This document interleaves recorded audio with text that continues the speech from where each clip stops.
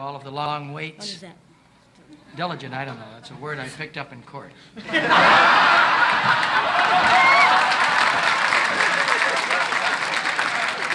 I, uh, I don't know what makes me keep playing back on that. All kidding aside, to work with Judy again, of course, for yours truly, for me, without being corny, we've had a wonderful seven days together here. Let's do it again. and it, it, this is not only tradition, but this is the love of my life. My wife knows this. My wives know this. always has been because there never will be, there, there, there aren't adjectives enough to express in the world how the one and only Judy is Judy. Because she is the greatest.